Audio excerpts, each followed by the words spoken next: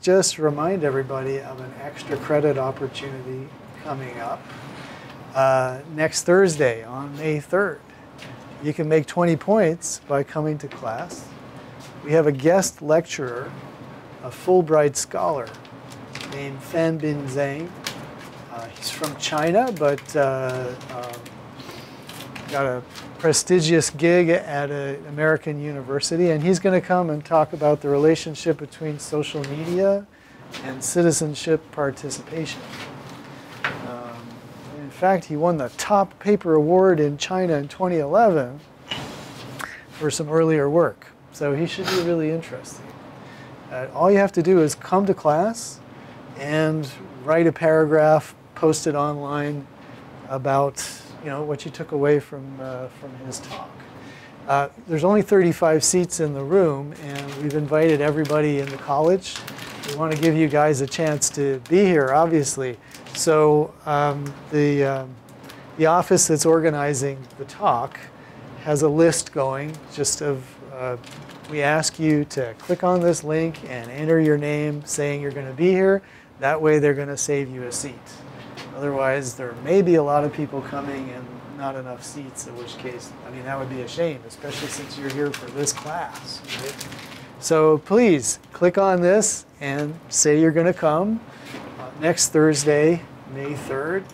Uh, especially those folks who are always here, click on it. You'll get 20 points, right? So do it. And uh, uh so that's that's that opportunity, and that can you know that can uh, uh, raise your B paper up to an A, or you know overcome any mishap you might have on the final exam or something like that. So look at this as a, an insurance policy. 20 points plus a, a chance to hear you know about uh, electronic media from an international perspective. So that should be interesting. Apart from that, uh, we have an online discussion going on about uh, TV, and we've only had one participant. So this is 25 points, and this is not extra credit. So you don't want to miss this. Um, this looks like an absolutely, this is actually a pretty long post for what we're looking for. So the question really is, you know, what is the significance of movies in movie theaters to you now? Um, why do you keep going if you're going? Why did you not go? Why do you not go if you don't want to go? What do you think are the reasons that people still go to the movies nowadays, even if it's expensive? Uh, so uh, you have until May 1st to do this. Hi, Sarah. So you pull this up on Canvas?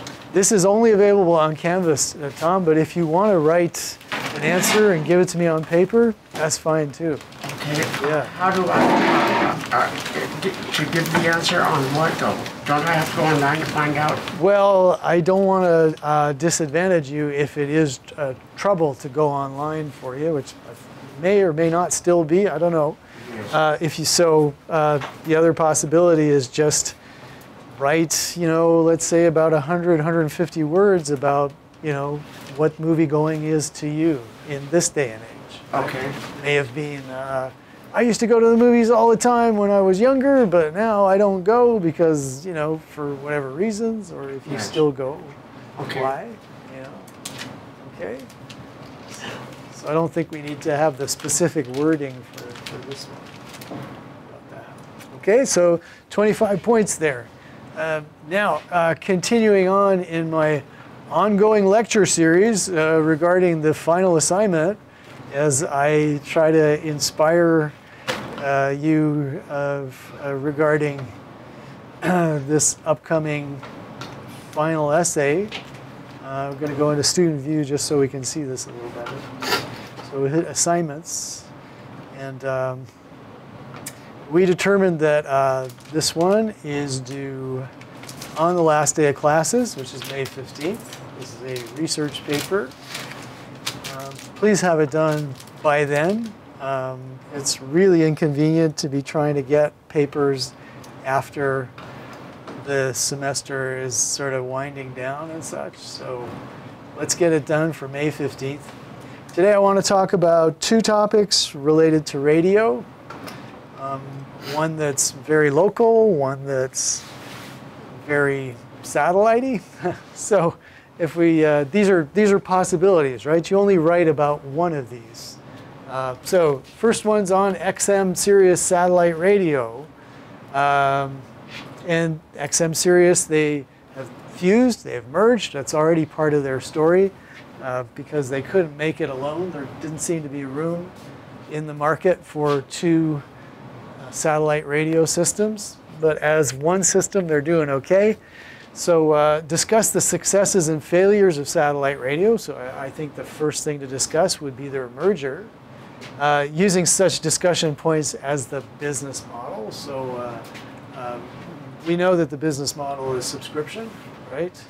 Uh, multiple channels. In a way, it resembles cable TV uh, in that it gathers together a whole bunch of very specifically targeted services. You know, if you think of each of those channels as specific targets. Subscription fatigue. So you may look up a little bit uh, about this issue. Check out the textbook on this, first of all. It has, it has some, some data, some discussion of this. Uh, again, in a parallel with cable subscription services, people come, people go. Uh, because they, you know, they don't recognize the, uh, the value of the service. Um, cable has the same problem. HBO has the same problem. We called it churn. You know, the, what you need as a subscription service is, is a lot of subscribers, and you've got to continually fill in those that leave. So subscription fatigue is you just get tired of paying, so you, you leave, they've got to replace with somebody else. So they've got, you know, great incentives to join, but once you've joined, they don't give you those incentives anymore. Sounds familiar? Of course. it's part of the infuriating aspect of keeping people in subscription services. We're getting them to enter in. And then the other, you know, I, who would be the highest profile person on satellite radio today? Any ideas? A refugee from reg regular terrestrial radio where he was continually getting fined? Yes. Howard Stern. Oh, yes, sir. Who is Howard Stern? 10 points for Dylan. Absolutely right. Yes. Howard Stern um, was continually getting fined on regular radio, and he moved over to satellite radio. He's still doing very well there. So, uh, however, uh, how well is he doing? How about the other people that they hired? Uh, and so, a lot of this could be found um, through online sources if it's not in our textbook about that. So, you'd be looking into the chapter on radio programming. Okay. So now this is a second option, a completely different essay. So let's not get them confused. But let's tackle them both today because they're both about radio. And so this one is um, prepare a biography of a local radio station. So local radio stations, you know, are licensed by the FCC, and um, the exclusivity of that license usually means that most radio stations around us have a pretty long history. Um, you know, some of them go back. KALW is over 50 years old. Uh, you know, uh, KCBS I think is even older. So you could you could dip around and find out. But some of them are you know literally half a century old. Um, so this is to prepare a biography of a radio station. So I suggest you don't pick one that started five years ago because that'd be writing a biography of a five-year-old kid, right? So pick something with a venerable history. Again, Wikipedia is a great way into it, and Wikipedia will have other, uh, you know, links to other stuff. And you are encouraged to contact someone at the station for an interview either in person or via email. You may even excerpt parts of that interview, put it into the essay. That might be fun and useful, uh, especially if you're interested in working in radio. It would be maybe a nice way to make contact. Uh, it's, you know, people in radio stations have community managers, I guess they'd call them, or, uh, you know, trying to think of what exactly would be if you just phone the switchboard and you find somebody who answers. You know, just say, "I'm working on a student project, uh, City College Broadcasting Department. odds are somebody works there actually went to school here. Uh, I mean, the last time I was at something, the chief engineer had been a student here in the 1960s, and it was like, you know, we were we were buddies right away. Anyhow, call him up and say, I'd just like to talk to someone for about 10 minutes about the history of the station. And all of these stations will have someone involved in community outreach. So they will want to talk to you. They will have the information, you know, sort of, well, you know, tell me about the history of the station. They will know that inside out because that's their job, you know. And uh, you could ask them about programming strategies as well. Like, why does your station, you know, uh, put this type of music on? And how long have you been in this format? Those would be great, great questions, okay? So I remember doing this 10 years ago, talking to a guy named Jerry Dove, who was at Clear Channel at the time, and I think he's at Entercom now.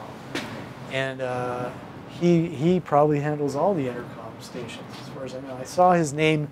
They, they did a big kind of recruiting day uh, in the fall where they, you know, there was like a job fair, but just for Entercom stations. And I saw his name on it. He's still around. So he talked to me like, as much as I wanted. It was great. So, you know, give him a call and combine that along with, you know, some online research. There'll be nothing in the textbook about this because it's local. So uh, you'll need to you'll need to find information uh, on the web, either from their website, from Wikipedia. Um, there's uh, a the the Radio Beat journalist uh, who you'll find in the in the Chronicle about this.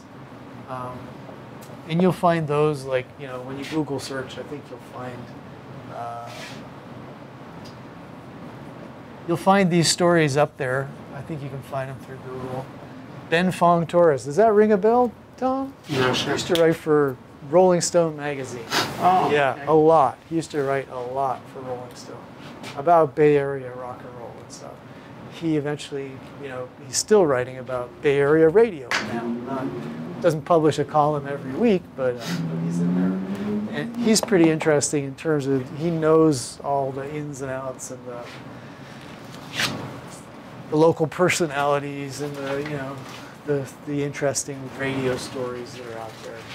So uh, you might look, you know, just search him and see what he's been writing lately. And I don't know if you had a question, you could email it to him, and odds are you might be able to get an answer or talk to him that way. So uh, um, that would be cool.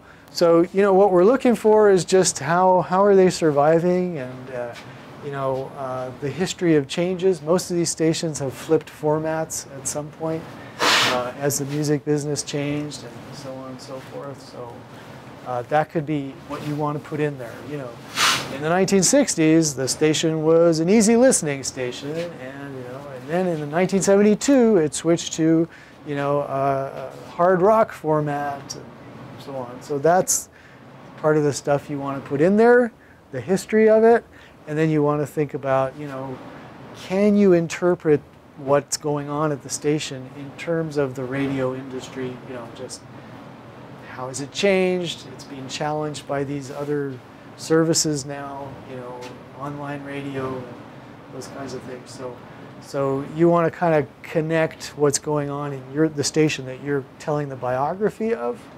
You, you want to connect it to the rest of the world.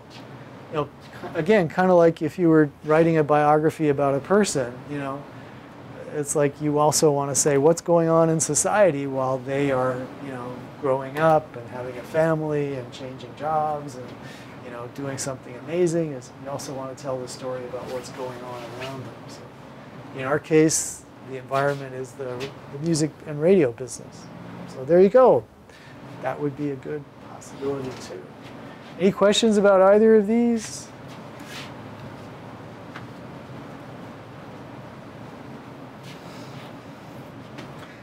Cool.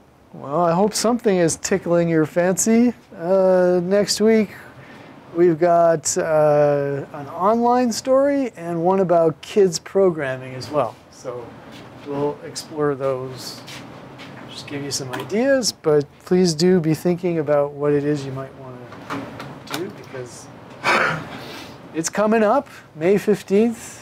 like three weeks away, I guess, unless I'm confused. Happens. All right, let's just check chat, see if there's any questions out there or. Okay. There's folks up there. All right, good. Last class we were talking about movies and who's attending, and uh, I, I, totally ignored the people in chat, but um, Natalia tells us that she sees movies every couple of weeks with a MoviePass. Ethan as well is using a MoviePass. Anybody else use movie passes? We in the room we don't go that often to movies. That's what I found. I agree. I just discovered this thing. This pass, yeah. yeah. Okay. People say it doesn't work sometime.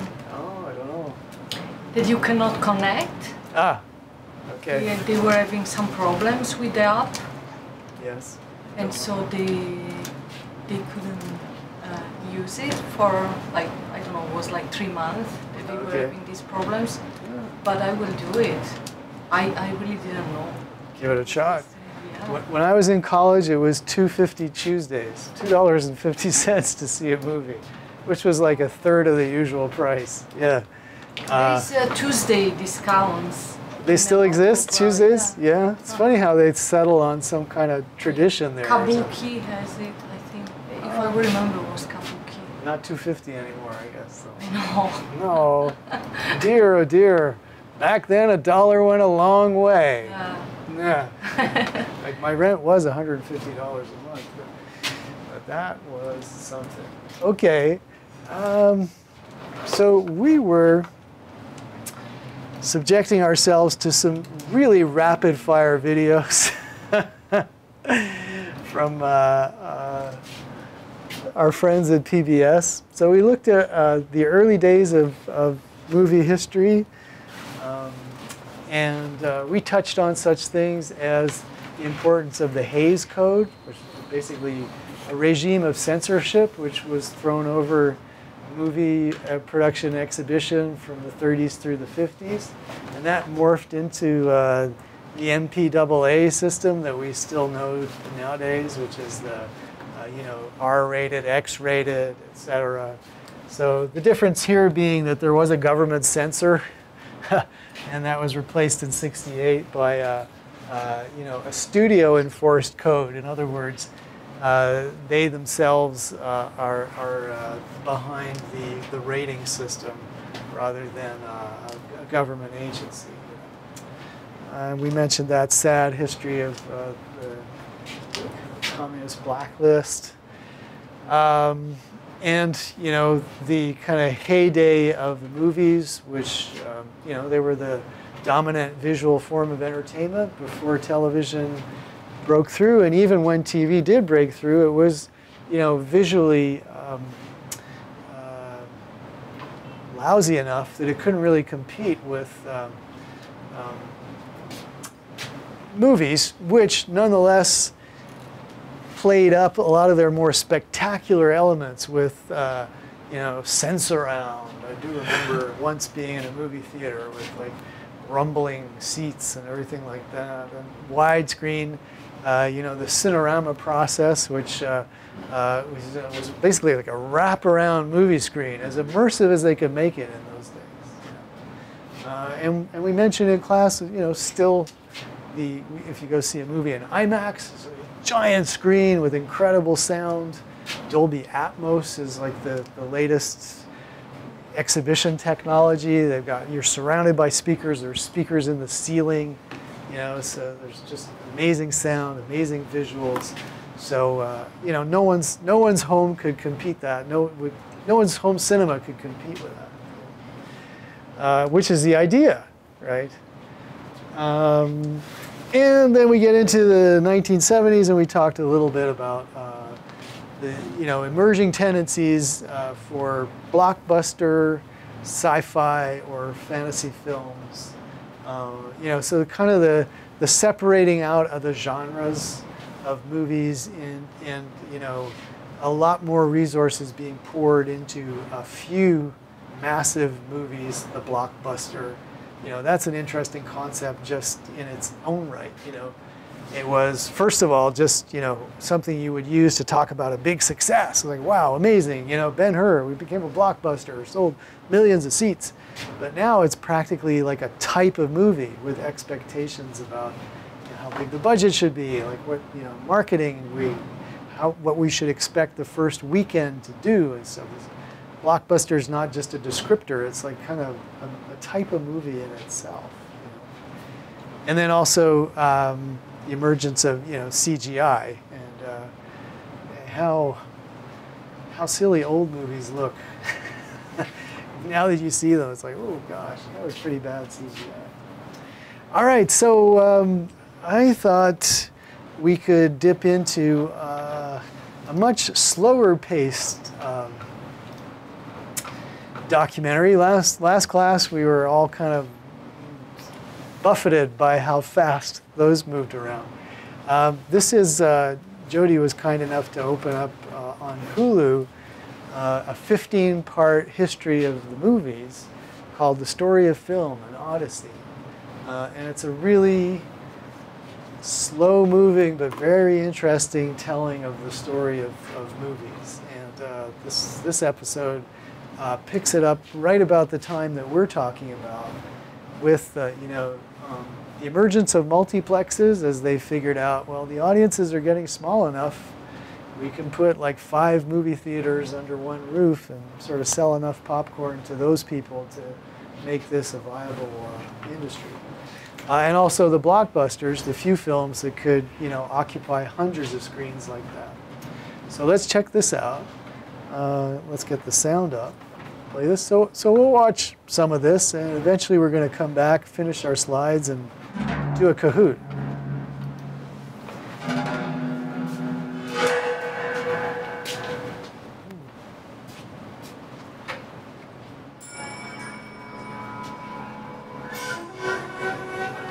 Movie fans around the world, most of them will have heard of the box office smash hits of the 70s Jaws, Star Wars, The Exorcist, the Bruce Lee movies from Hong Kong, and the Indian epic Sholay.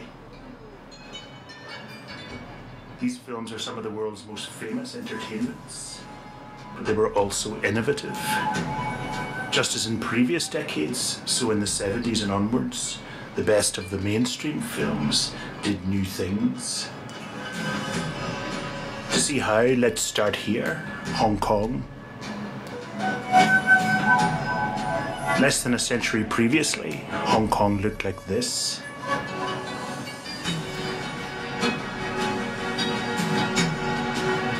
Now it's this. No city except New York has been more filmed. For 40 years, Hong Kong was a kind of refugee camp, transit lounge, and capitalist catch all for Chinese filmmakers fleeing Mao or the Kuomintang's nationalism, or censorship, or seriousness. Low cost, money savvy production has ruled here. The cinema of the migrant, maybe. Movies made by those who know what quickens the pulse of people in other countries and who want to make a fast buck. Maybe this old lady can remember Hong Kong's first movie golden age, the 1950s. It was a gold rush. The emperor of those times, Hong Kong's Louis B. Mayer, was Run Run Shaw. In 1957, he came here, bought 46 acres of this land at 45 cents per square foot, and built the largest private film studio in the world. The Shaw brothers employed 1,400 staff in 25 departments. These buildings were Asia's dream factories. The legends of China's 4,000 years of history were acted out here. To see the Shaw Brothers logo, orange silk, pulled into perspective, fanfare music, was to be transported to another world. A 50s world like this one. Feminine, studio set, highly coloured, musical, with perfect trees and clothes. As interesting as this is, we got to go to America because we don't have time. a director who changed the world of Hong Kong cinema from feminine to this,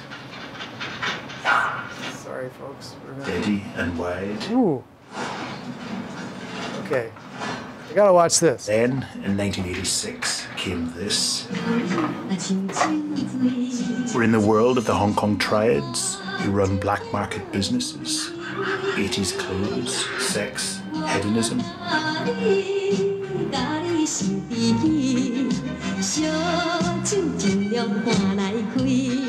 A rowdy lunch, a story about male bonding, loyalty, and betrayal again. What was really new, however, was the style of the movie.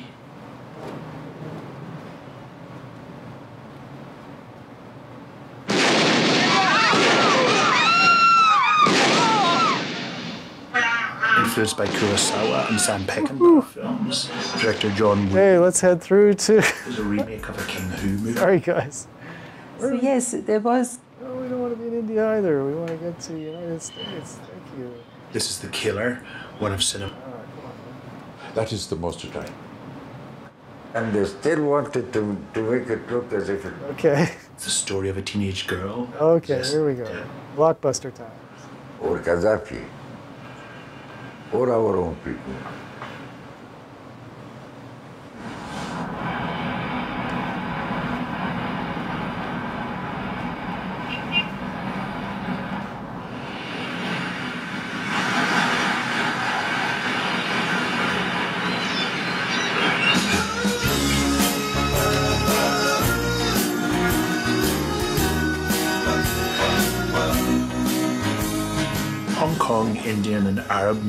Wowed cinema audiences in the 70s and since. But something happened in American cinema which changed everything.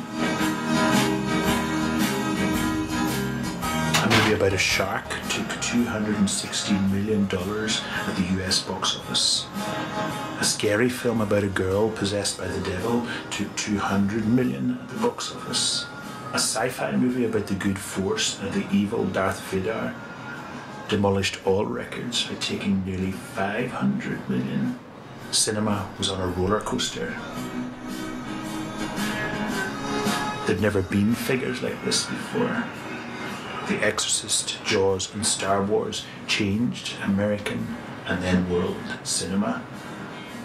Producers started to make films about the things that people fantasized about seeing the devil, a monster shark, spaceships, dinosaurs, the sinking of the Titanic.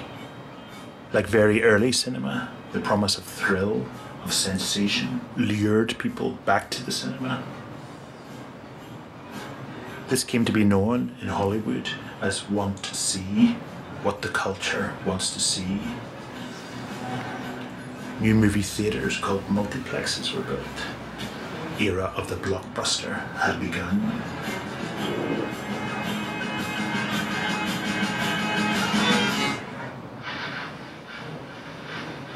Here's The Exorcist, a believable middle class home. Mom's all dolled up, Is it coming out, Willie? Yes, I think so. a maid. Then the scream of evil. A handheld, wide angle shot captures the rush of fear. And then this. Director William Friedkin's innovation was to slap horror cinema in the face with realism. The Exorcist tells the story of a teenage girl possessed by the devil. The devil's voice was throaty, cigarette-y, phlegmy. Friedkin hired the brilliant actress Mercedes McCambridge to do it. And I'm the devil. Now kindly undo these straps. I had a feeling that if I could become an entity, not a voice, that drives me crazy when people say you were the voice in The Exorcist. No. I tried very hard to create a character, a demon. Lucifer was a part of the film. To increase the realism of the sound, McCambridge swallowed raw eggs, smoked cigarettes, and got drunk to make her bronchial voice gurgle and emotional. Strange. They tore a sheet up and they restrained me, my hands, my knees, my feet. my neck. Uh, look what happens to your voice.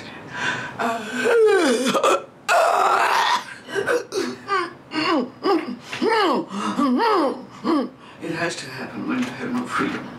The only way I can do it now is by clutching my hands behind me. One of the most innovative vocal performances in movie history.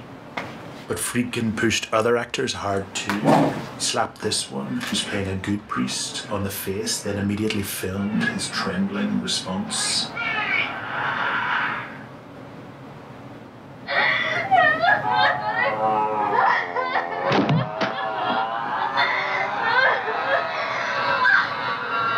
Friedkin's techniques were traditional too.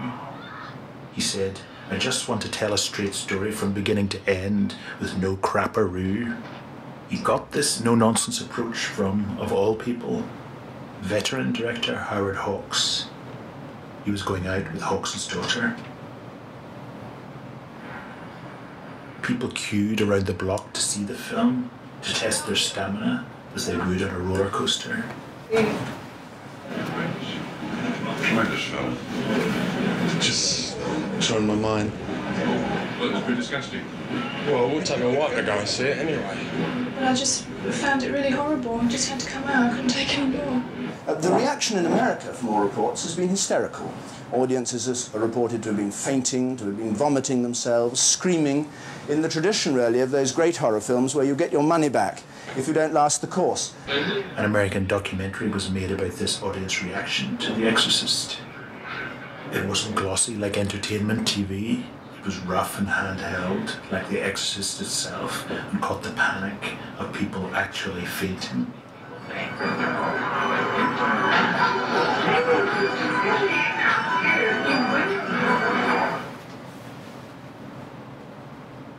I have my finger on the pulse of America, said Friedkin.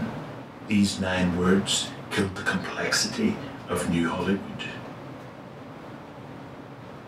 Earn the money back for the. They could also have been spoken by this man, who Time magazine called the most influential director in cinema history. 23. If you make a picture at Steven Spielberg had been making amateur films since boyhood. He was more influenced by this film than European movies. There he is, Dorinda. Go on. I'm setting you free, Dorinda. I'm moving out of your heart. Goodbye.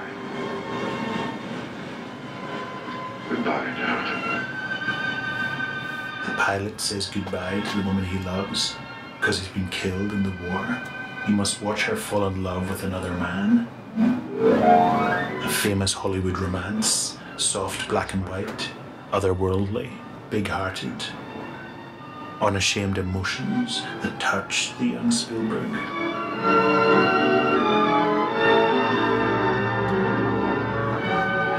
Was truly a child of the establishment, he said later.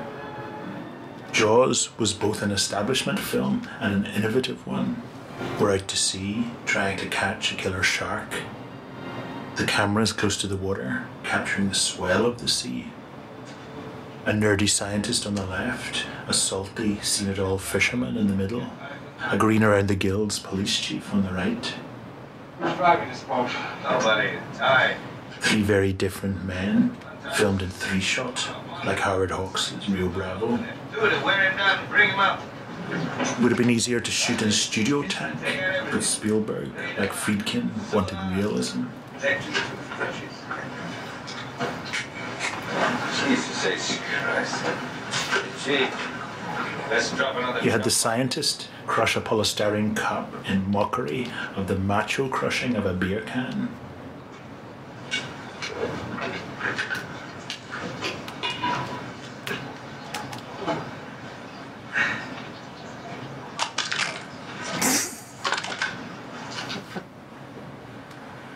In interviews, Spielberg speaks as vividly as Alfred Hitchcock about the point of view of his shots in Jaws and their unity.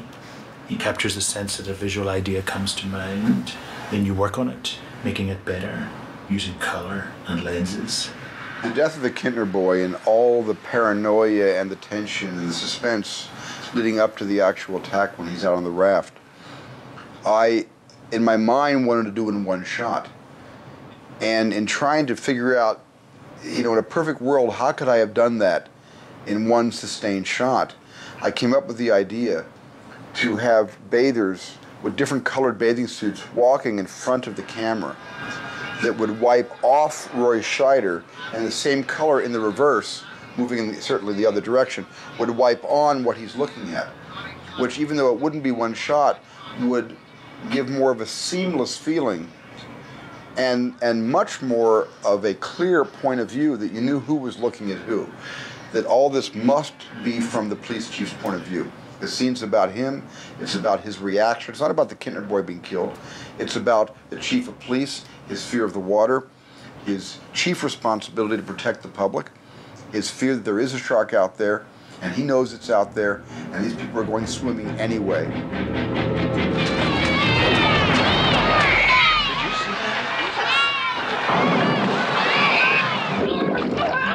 Dollied in and zoomed out to create this queasy scene of change of visual perspective.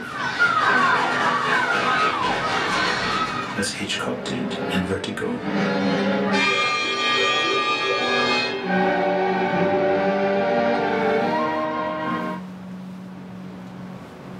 And this scene in Spielberg's Close Encounters of the Third Kind shows his filmic signature the awe and revelation scene. Wide shot, in the camera dollies to people looking at something through a screen. We want to see what they see, but Spielberg doesn't cut to it. Instead, the scene builds, they get out, we track and rise.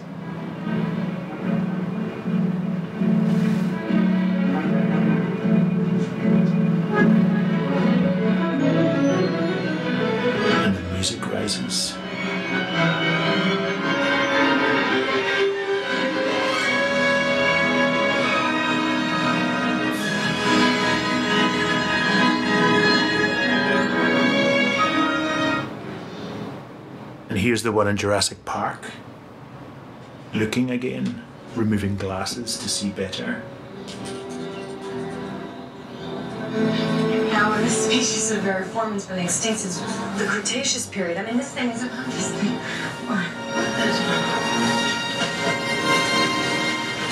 And again, then getting out of the car to see better still.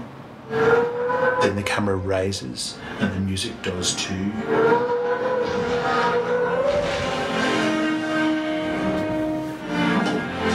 Masterclasses in point of view and the desire to see.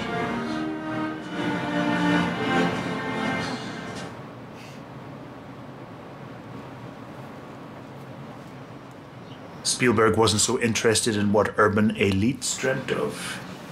His was a world of suburbs, absent fathers, and underdogs who encountered the sublime. At his best, he burnished mainstream cinema and became the most successful romantic director in the story of film.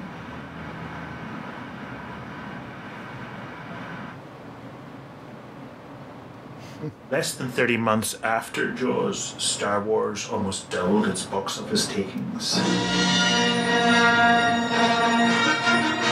The film starts like a fairy tale, a long time ago in a galaxy far, far away. The words drive backwards into deep space. The soundtrack, recorded in the relatively new format of Dolby Stereo, seems to take place in deep space too. It felt as if the cinema shook.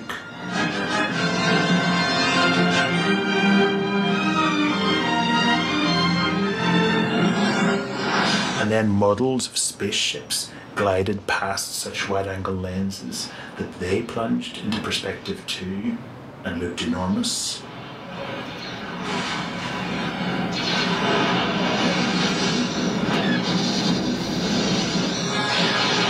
The camera moves were programmed by computers. Then the film introduces us to Luke, who will become a knight and save the universe. We're in the realm of myth, and the film's design conjures the myth. Interiors look like caves or kitchens or spaceships. There's talk of a mystical force. Luke dresses like a samurai. We meet two robots, little and large, a metallic odd couple, and we see, optically projected, a message from a princess asking for help. We hear of an evil emperor who director George Lucas saw as the shamed American president, Richard Nixon. This is the most absurd plot we've yet heard in the story of film, and yet the movie charms, in part because it draws richly from film history. The robotic comic duo was based on two funny characters in Akira Kurosawa's The Hidden Fortress, as were Star Wars soft edge screen wipes. And the spears in Kurosawa's film became lightsabers in Lucas's. The evil characters were filmed in a way that was reminiscent of German director Leni Riefenstahl's The Triumph of the Will. In the climax of Star Wars, Luke's attacking the Death Star. Sees the camera plunge forward like a phantom ride from silent cinema. Fast cutting, the music crashes like waves. Luke uses a computer to find his target. But then Luke hears the voice of his guru, Ben Kenobi. He tells Luke to use his intuition. Use the Force, Luke. Let go, Luke. The force is strong in this one. Luke, trust me. So Luke puts away the computer, the very thing that Star Wars helped to bring to cinema. In this moment, the knight, the hero, learns to feel rather than think, which in a way is what happened to American cinema in general in the 70s.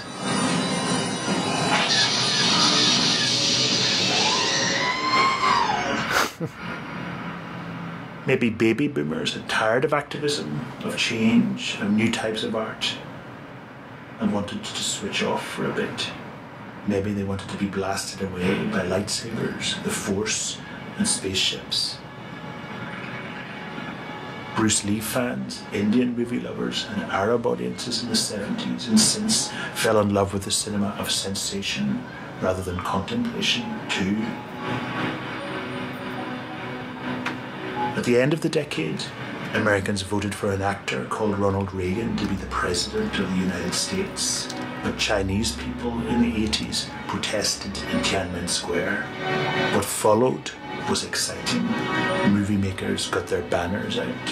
The 80s were the movie years of protest.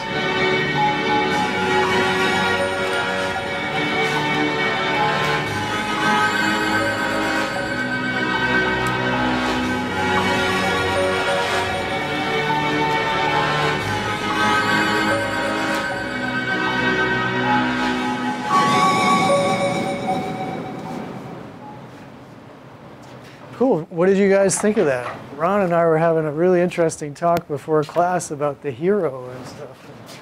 I was just uh, struck by Luke as the hero of uh, kind of an absurd story that seems to still be really of interest. so, what did you think about the, about that little slice of film history?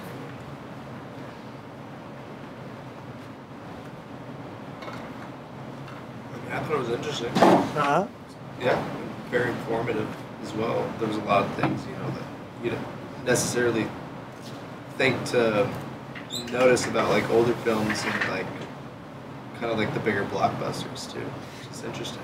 Yeah, blockbusters as events, kind of. That's that's one thing that comes across. You know, it's not just a movie. It's like a, a little cultural explosion. You know, people so terrified by The Exorcist that they're fainting and leaving, and and, and the huge box office. You know. But just the bar borrowing of styles of like other directors. Yeah, yeah. Another great point. Yeah. absolutely. Um, yeah, kind of reminding me of uh, Stranger Things right now, you know, or just recently, and the, there were so many uh, callbacks to 1980s Mhm. movies in that. Def- definitely. Yeah, yeah. So I th- yeah, that was also a good point that he was making that uh, that that you know around that period, the Spielbergs, the Lucases, they were all, you know, schooled in world cinema, and so they were using some of the things that they loved that they had seen quite self-consciously.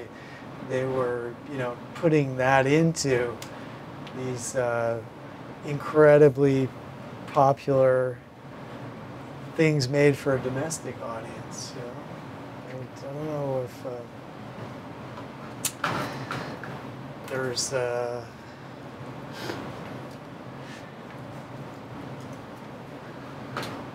this is a pretty interesting you know again if we were talking about whoops, that's not exactly, I'm pretty sure when you folks saw Stranger Things you must have been aware that there were some callbacks to uh, older movies but uh, this is a side-by-side comparison of the Netflix series uh, which has, you know, it's set in the 1980s, but it's pretty amazing to see the uh, the extent of this kind of quotation that we that we saw there in Star Wars. But these guys are doing.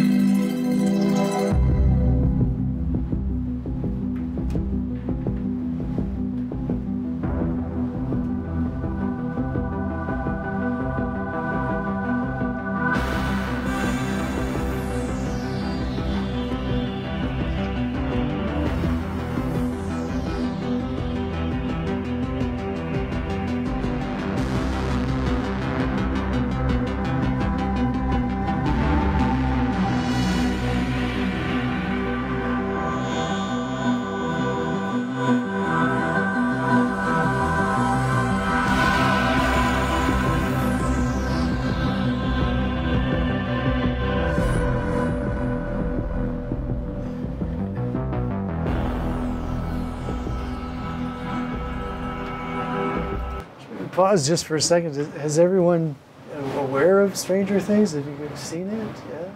Tom, have you seen Stranger Things? No, I don't believe so. It's a it's, it's like a, a ten hour, um, uh, obviously fiction film on uh, or fiction series on on Netflix. Um, a, set in a small town where a kid disappears, and uh, his circle of friends are trying to find him. The older siblings they're having a kind of story about it. And then the adults as well. Um, and they find out that there's a kind of a, uh, a, a, Department of Energy research institute located very close to the town. And we learn, as before they discover, but most of the series is them discovering, that there's a kind of a, I don't know, portal or a, a like a, a, a, like a split between like split, dimensions almost. Exactly. Yes. So that so that uh, people can, well, the kid could be taken by a kind of a monstrous character who comes out once in a while and grabs people and does stuff, and the government is, you know, wants to study this is per, is is interested in it, and so doesn't want to you know protect the people of the town or anything. Uh, they, and so it's set in the 1980s um, with the kids, mm. and so what we see here is a, a, lot of you know just the kids running around trying to find out what what is going on and stuff, mm-hmm. and it's all it's all filmed very explicit. You, you, know, it's filmed in the style of you know, great movies of the 80s, really. Mm. And again, I you know I lived through all those movies, so I can recognize that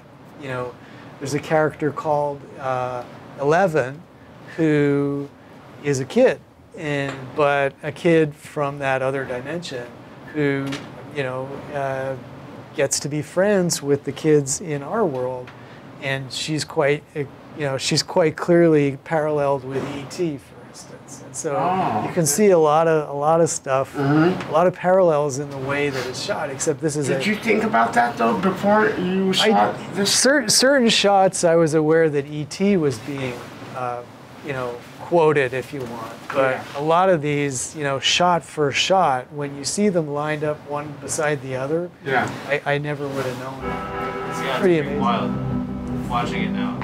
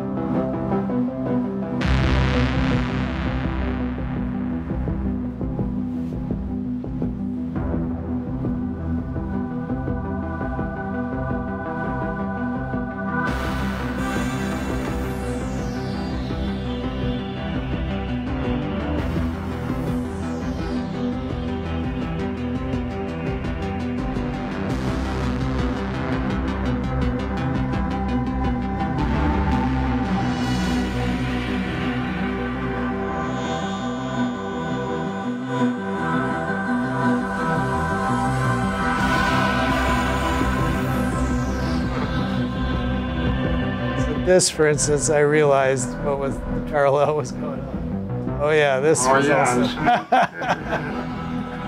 incredible scene. Yeah.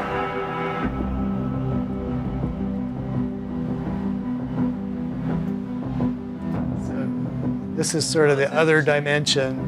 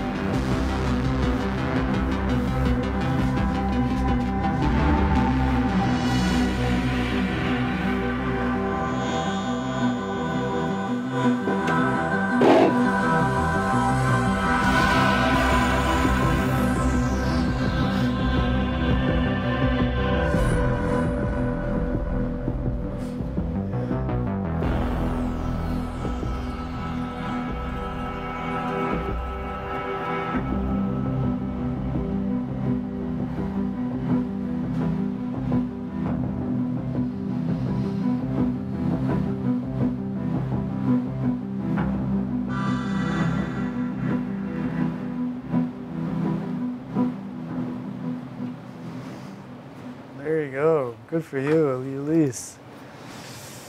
Yeah. It's, it's I, I was just so, so impressed by how many visual, you know, quotations there were in that. And that's, uh, and of course now we can see somebody pull them all out and put them all together for us, which is pretty cool.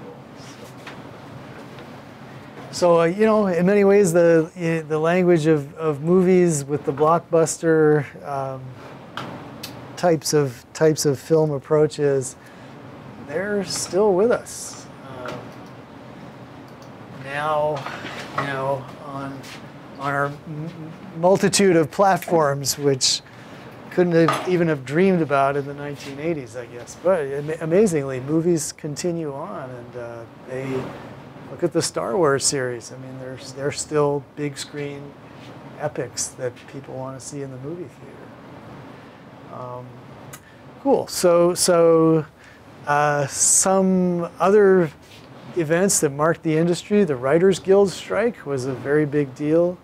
Uh, 2007. Um, they recently uh, the industry kind of averted another writer's strike that was uh, being discussed anyway, but the, uh, the, writers wound up getting what they wanted just because last time it had such an impact on the industry as you know all of all of the screenwriters stopped writing. There were um, some some uh, producers could continue on with you know older scripts, uh, but there were um, you know a number of adjustments. Number one, uh, reality TV got a big jump, a big leg up there, because they don't need scripts, right? They don't need script writers. They've got you know basically producers. Yeah, you know I mean it's not reality, but but it's producers who are concocting situations, and you know you don't need to credit a screenwriter. So i in some ways it tipped towards that. Um, fewer original scripts, more more existing ideas as the basis for shows as well. So, you know, it, it's like uh, a good point. Where would the next Star Wars or Indiana Jones or those those kinds of things, which were you know imaginative takeoffs of super generic types of product, would, you know, where would those come from now? It's hard to imagine. Um, recession. I don't know. Anybody still interested in 3D movies? Like when you go see a movie, would you go to see a 3D version or? Not really. Not really, huh? I avoid it, frankly. At all costs, really, Joe? Yeah. It's just a much. It's not a very enjoyable experience. Yeah. Like wear glasses. It's kind of dark and, Yeah. and uh, out of focus a little bit. People like get sick from like wearing. Oh, that's true. Yeah. They, like, nauseous from watching. Yeah. So so that kind of came and went, and they sold TVs, which you know with 3D technology in them and stuff. But, you know, I guess the other aspect. I mean, I, I don't know how you guys feel, but me is it's sort of like a film film lover and wanting to get into audiovisual industries somehow.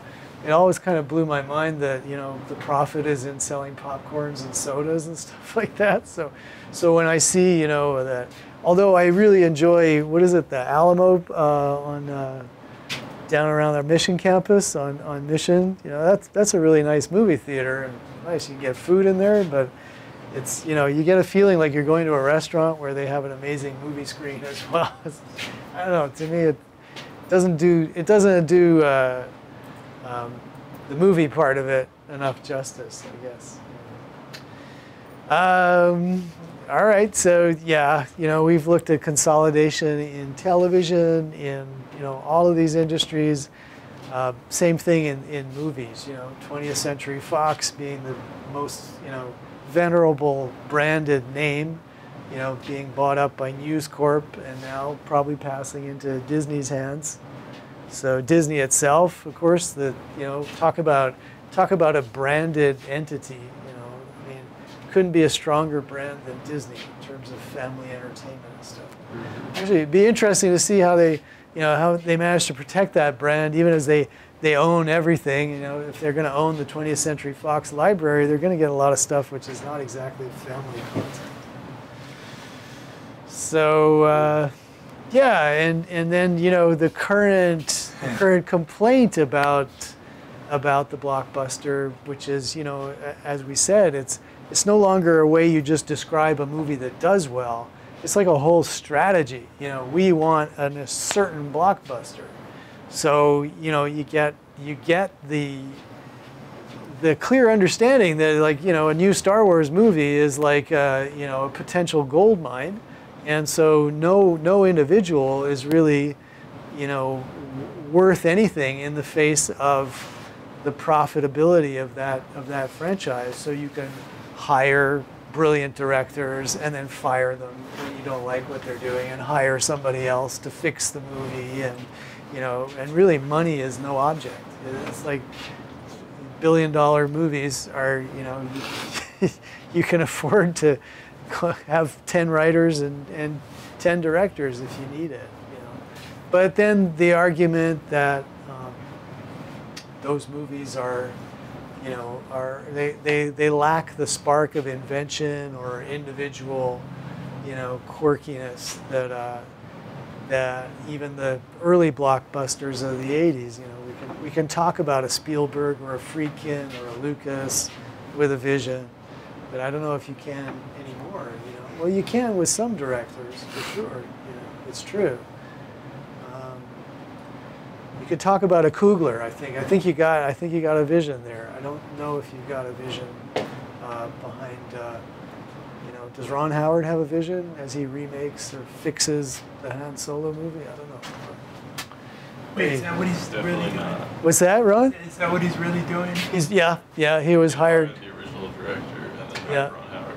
Yeah, Because he knows what the studio wants. pretty much. Yeah, he's he's like I mean, that's exactly what it is. yeah. He he can deliver you know the safe the safe type of product that they want. Uh, as long as they know, as long as they know what they're doing, like sure it's what the studio wants, but is the studio really going to succeed from making the same damn formula? I think they're probably there to keep it up. I mean, the producer is Kathleen Kennedy, who was the producer of, with Spielberg of some of those 1980s blockbusters that we saw. And uh, so she's the Disney executive who's hiring and firing over, you know, these uh, the Star Wars movies. And um, yeah, absolutely. They hired Lord and Miller, the people who did the Lego movie, uh, which was a brilliant kind of crazy, you know, pop culture mashup and uh, they didn't like what they were doing, so they fired them. And they Wasn't the guy who did the 21 Jump Street reboot too? Oh, is that? Yeah, that was. That, that was a different disaster. I don't think they actually fired him, but they basically, like, promoted him out, and then got got another director to, to touch that one up too. Actually, yeah, yeah. Uh, but I was disappointed because I'm a real Lord and Miller fan. Like I loved the Lego Movie, and, and some of the other things that they've been working on sound really cool. But so, um, but you know, uh, well, we could get into probably too deep into the weeds about all these little things. But uh, you know, other issues that are that are constantly in debate about in the movie industry right now is you know the exhibition window. Like, how long can you see a film only on a big screen before it moves over to you know on, on demand or other other ways? So obviously the exhibitors want to keep that window. Uh, the you know distributors sort of could care less really because they're making as much money distributing the film on video on demand or any other way than they are on the big screen. So they don't really care. Uh, so you've got you know Mavericks um, who are like releasing a movie at the same time on video and in the movie theater because what they're saying is you know we're going to try to create some kind of interest in this. Uh, why should we try that twice? Once in the movie and then once for a video release. Let's profit from the visibility, put it out all together. You know. So there's discussion about the exhibition window. Should they keep it or not? Uh, you know, there's fights about uh, who's, how big a slice of the uh, proceeds from exhibition uh, the the distributor gets versus the exhibitor. You know, so the latest Star Wars that came out over Christmas, the, Disney demanded 60% rather than the customary 50%. Uh, because they they knew everyone would show it anyway, and you know they're not all that nice. So so there are uh, lots of uh, lots of issues in the business, even as the business is you know slowly transforming and declining, as is a lot of the you know the, the broadcast business. So, so there you go. Uh, independence, right? I mean, we're seeing with the rise of Amazon, especially Netflix, you know, uh, a lot of movies being made direct for video, and uh, um, that is impacting, especially some of the smaller uh, uh, film studios that supported, you know, 10 or 20 million dollar budget movies, or uh, that's probably a little low now. But anyway, the the non-blockbusters are, you know, increasingly looking to like a streamer like Amazon or Netflix order to, be able to to get produced. Yeah. Um, well, we got a few more minutes. I think we'll skip the Kahoot and just finish up with this, and then maybe next next class we can we can do the Kahoot. Um, yeah, you know the days when the movie industry was actually located in Los Angeles, the production side, are over. It's very expensive to shoot in Los Angeles due to unions. There is a lot of production uh, being done in Vancouver, has been for 15, 20 years, because the Canadian unions are more flexible and the dollar is less expensive to shoot up there. So a lot of television series and some feature films are done in uh, Vancouver, commercials and feature films done in Toronto. Uh, and also, you know, elsewhere in the world, in England, there's, you know, a lot of, a lot of stuff is shot there. Um, all of this because they offer uh, better conditions than Los Angeles. It doesn't mean nothing is done in Los Angeles, but it's expensive to work there. Um, so much production can be done anywhere. Runaway production is what they call it, uh, as it's run away from Hollywood and uh, is moving production to other cities or countries where costs are lower. There's a kind of a, uh, a, a tax incentive war that goes on in the United States. You may notice shows like The Walking Dead being shot in Atlanta because Georgia has very, uh, very uh, uh, accommodating kind of tax credits that they give, you know, to lure production to particular states. Uh, and basically, production will go wherever it's cheapest. You know, so for a while it was Georgia. I'm not sure if it still is. You know, uh, but um, that's that's why you saw just a ton of shows set in Atlanta or you know in in that type of terrain like The Walking Dead. Um, so uh, that's another another aspect. And and you know the people who work on this type of stuff. I don't know if you're interested in you know eventually doing that thing, but th- these are people who you know they might have an apartment like in Los Angeles, but they spend most of the year somewhere else.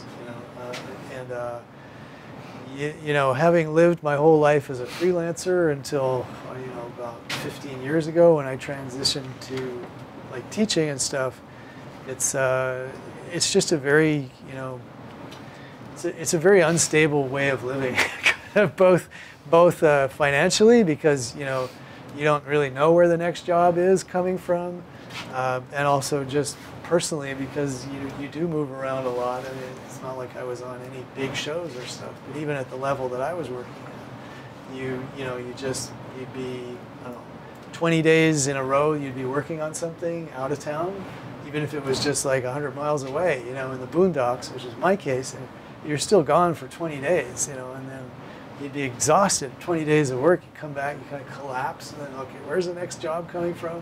You're calling everybody, like, what are you guys working on? What's coming up? So you get the next job, oh, fantastic, and then you're out for another, you know, chunk. Of, so it's uh, it's a different different sort of working schedule, certainly than teaching.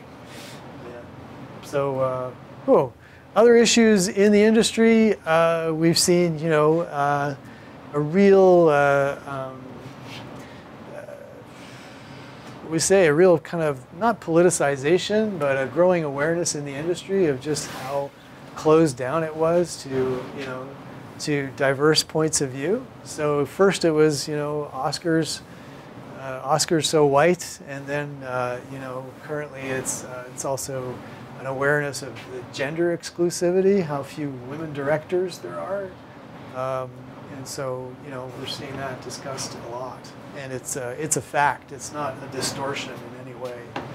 That uh, you know the industry is incredibly uh, driven by white men. Yeah. Um, so there may be some change coming out of that. There may not. We'll see. Uh, but certainly, there's uh, you know we've seen uh, uh, you know the scandals over studio heads and, and such stepping down due to sexual harassment issues and stuff. Cosby, I see, was uh, just uh, convicted. He he convicted, huh? Yep, yeah. They uh, kept him out, I think, as long as they could defend him. But so, um right. I don't know. What, what more do we need to go on this? I think we've done enough for today. We'll catch up on that last slide and a Kahoot next time. Um, so don't forget next week, next Thursday, extra credit. Pre, please be here and please, please reserve yourself a seat just in case you know the. Sure, how do I reserve that? I don't have- Well, let's do it just uh, right now I'd before to. we go, okay? Because uh, we can just do it right here. Okay, I'd like to. Yeah. So, so what I'm talking about, uh, you know, about reserve a seat is just remember here on the home page, there is a place to click, and all you do is once it loads up, you just enter your name in to say, okay, I want to be in class on May 3rd, you know, next Thursday, and and I want to I want to attend. There it is. It'll show up here. Okay, guys, have a good weekend. Go see a movie. Why not? Celebrate. Use that pass. Tell us about it. Tell us about us online.